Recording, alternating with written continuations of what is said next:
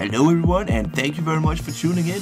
This video is a new concept that I've come up with and I call it a Brown Star approved video and that is perfect for when you're sitting on the can and just want to watch a quick match of For Honor. So not too butt clenching and not too long. And remember to turn off the volume if you're in a public bathroom.